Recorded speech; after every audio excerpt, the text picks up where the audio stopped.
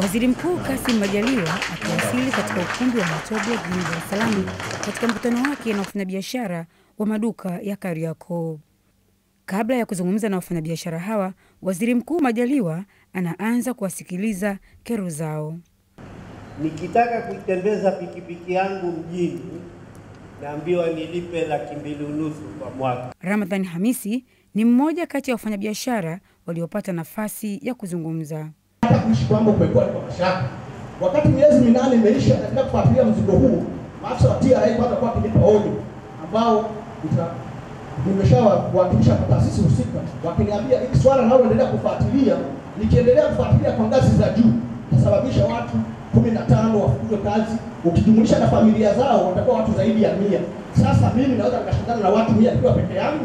Mimi niliwaambia sina mashindano na mtu, shida ni kupewa mzigo wangu uliozuiwa bila sababu. Kwa hiyo sasa hivi, Mheshimiwa Waziri Mkuu, mzigo wangu uko mamlaka ya mapato miaka mitatu sasa. Baada ya madai haya, Waziri Mkuu Majaliwa akatoa agizo. Ishu ya Bwana Ramadhani tunaamini anahifadhiwa, analindwa, lakini kesho nataka tukutane na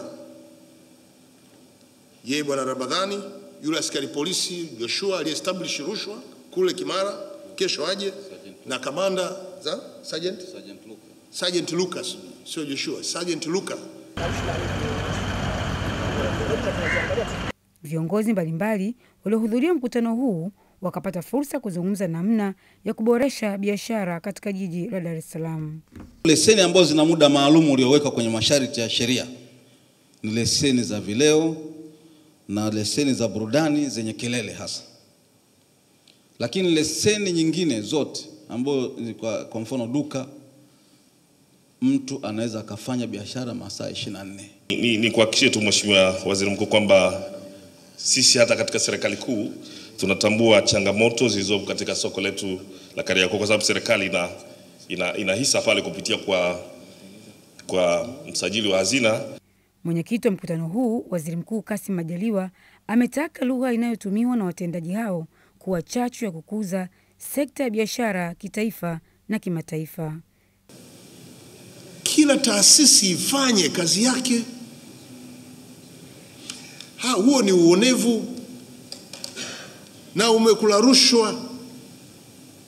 Ndio kwa sababu tukuwavumilia, tuliwaondoa, tuondoa mkurugenzi na wale wote chini pale, walikuwa na wakwaza wafanyabiashara wengine kuingiza viwanda nchini. Nataka pia hata Kariakoo hiyo ndio free zone area eh, iwe ni zone free. Hatujawahi kupractice hichi kitu kama vile kigeni vile, kumbe inawezekana. Kwani inawezekana maeneo mengine na hapa isiwezekane? Watanzania wengi mnaenda Dubai na mkienda Dubai kuna eneo watu wanakesha hapo masaa 24 kila mmoja na usingizi wake tu. Kwani na sisi tusitoe fursa? Nchi na amani, majeshi tunayo, lakini hata sisi wenyewe tumekuwa walinzi nambari moja. Tunashindwaje kumaliza Dar es Salaam? Sasa hili watu chukui muda mrefu. Kesho saa tano Zaituni Mkwama, TBC, Dar es Salaam.